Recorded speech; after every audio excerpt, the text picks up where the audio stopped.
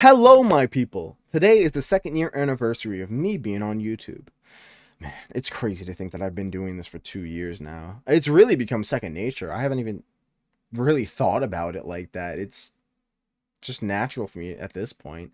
And I've been looking at my old videos more recently just to see how much I've grown and how much has changed between the videos. a lot of my older videos were pretty unedited, mostly because I didn't have I don't know what the excuse is. It's in the past anyways, but just to see how much I've grown is great. And this is just the beginning too of my whole journey here with you all on YouTube. And I'm really excited for the future and to think that this is just literally just the beginning. Oh man.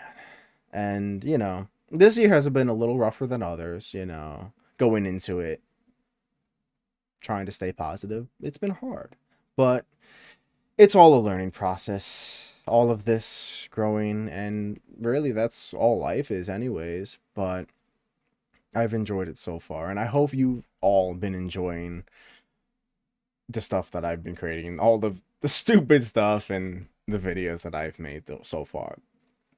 It really, oh man, to think what what the future will be like in five years on my channel here, it's crazy. I don't even want to fathom it but that's in the future. I don't need to fret about it now.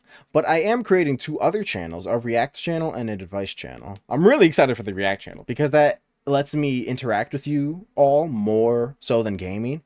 And uh, it's just going to be great. I'm creating that separately so that in case I get claims, copyright, whatever, it's not affecting this channel. Be since that'll be slow. Ugh, I can't talk either. That'll solely be based on reactions to whatever and anything. I'm really excited for that.